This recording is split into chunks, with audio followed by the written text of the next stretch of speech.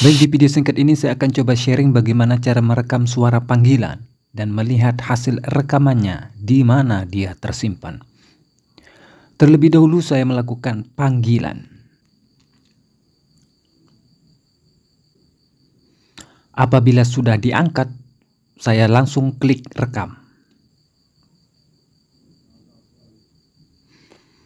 Cek cek cek, halo halo cek cek cek. Halo, cek cek, halo, halo, halo, halo, cek cek cek, halo, halo, halo. Ya, kira-kira sampai di sini. Selanjutnya, melihat hasil rekaman tadi. Kebetulan Android saya saat ini menggunakan Xiaomi. Mungkin teman-teman menggunakan Android yang sama atau berbeda. Lanjut, teman-teman silahkan klik berkas atau file manager atau apalah namanya Kemudian klik penyimpanan. Lalu pilih penyimpanan yang di internal atau memori HP-nya. Kemudian klik MIUI, MIUI. Ini untuk versi Xiaomi. Kalau Android lain mungkin akan berbeda. Lanjut lagi, klik sound recorder. Nah, ini dia hasilnya tadi. Baik, saya coba putar.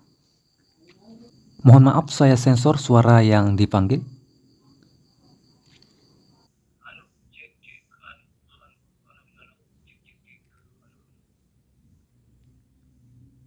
Baik itu dia caranya. Apabila teman-teman kesulitan mencari hasil rekamannya, teman-teman bisa coba cara ini. Silakan cari dan buka aplikasi yang namanya perekam bawaan Android. Ingat aplikasi perekam bawaan Android. Karena rekaman panggilan biasanya menggunakan aplikasi perekam bawaan Android.